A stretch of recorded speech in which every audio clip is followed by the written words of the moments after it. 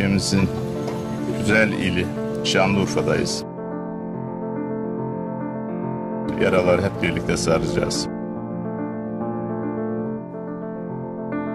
Antalya Büyükşehir Belediyesi olarak bütün ekibimizle, itfaiyemizle, ASAP ve Temizlik İşleri Müdürlüğü'nün vidanjörleri, araç gereçlerimizle, motopomplarımızla beraber burada sel afetinden zarar gören otoparklarda çalışmalar yapıyoruz. Burada emeği geçen, katkı koyan tüm kurum kuruluşlara, çalışma arkadaşlarıma, çalışma arkadaşlarımı gözlerinden öpüyorum gece gündüz demeden vatandaşlarımıza yardımcı olmaya çalışıyorlar. Biz de elimizden geldiğince yine ülkemizde Allah bir daha afet yaşatmasın ama afet olan yerlerde olmaya da devam ediyoruz.